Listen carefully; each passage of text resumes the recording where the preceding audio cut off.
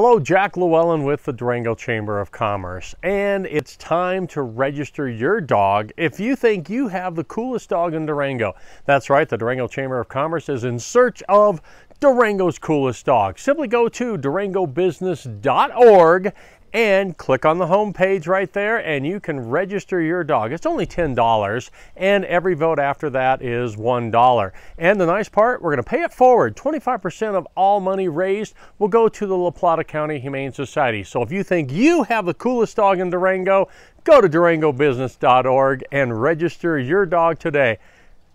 And don't worry, Ali can't enter